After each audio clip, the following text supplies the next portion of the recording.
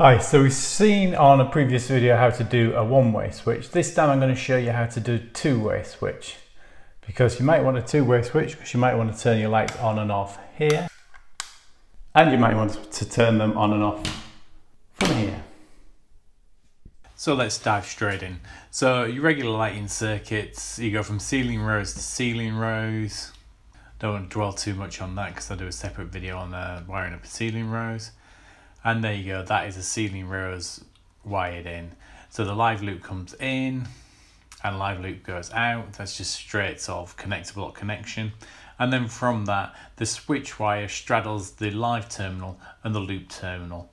And then starts going down towards your light switch. So the switch wire going from your ceiling rose into the first of your two-way switches. I'm showing sort of typical brown and blue twin and earth here. You can use brown and brown.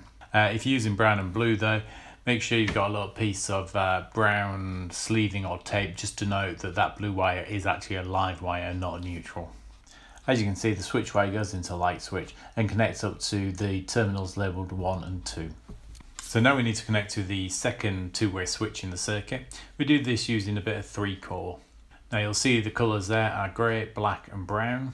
It doesn't matter which you have as the common wire, so long as it's the same at both ends.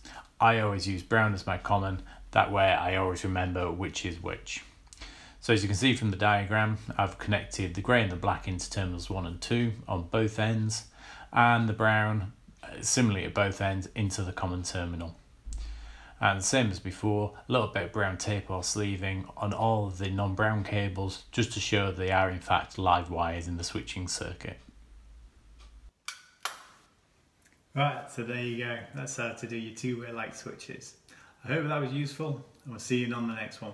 Bye bye.